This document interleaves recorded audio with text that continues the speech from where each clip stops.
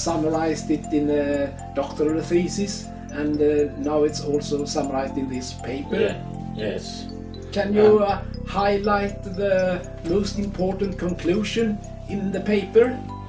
Progressive landslide analysis explains how and why it can actually happen that a long natural slope which has remained stable for centuries or even millennia can be destabilized by seemingly small additional loads from, for instance, local fills, local vibratory or piling activity.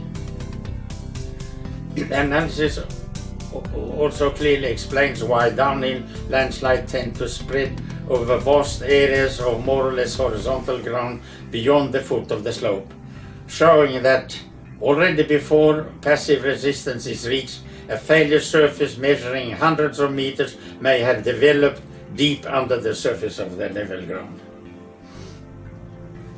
The finite difference model has been applied to a number of Scandinavian landslides and at least one in Canada.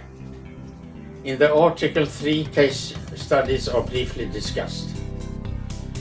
Briefly speaking, the model is a finite difference approach where the downhill axial deformation due to the additional load is maintained compatible all the time with deviatoric deformations in the highly sheared zone near the failure surface. Software and spreadsheets are introduced as well as recent developments.